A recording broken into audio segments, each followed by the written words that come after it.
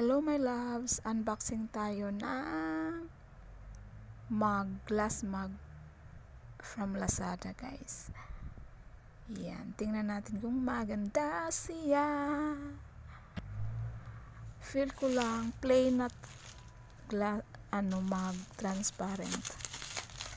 Grabe yung kapal ng ano, ng balot as in yung bubble wrap. Super, super safety. Thank you, seller. It's ano, 140. Super cute. Kasama na yung shipping fee, 140.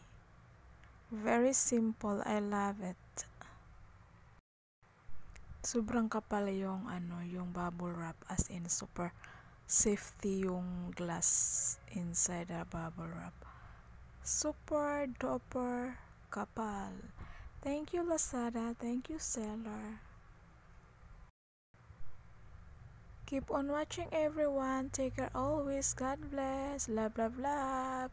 Kung bago ka pa lang sa aking channel, please don't forget to subscribe, like, and share. Love you all. Keep on watching.